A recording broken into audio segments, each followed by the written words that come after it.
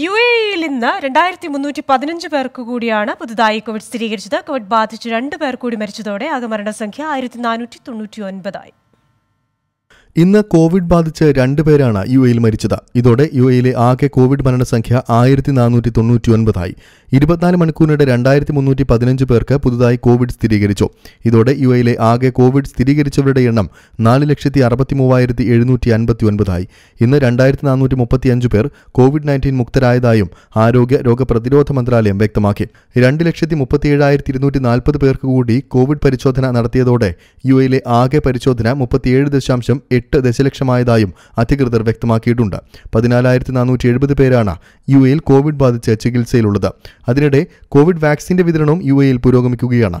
ഇന്ന് എൺപത്തിരണ്ടായിരത്തി എണ്ണൂറ്റി മുപ്പത്തിമൂന്ന് ഡോസ് വാക്സിനാണ് യു എയിൽ നൽകിയത്. ഇതോടെ ആകെ വിതരണം ചെയ്ത വാക്സിൻ ഡോസുകൾ എൺപത്തിമൂന്ന് ലക്ഷം കടന്നു.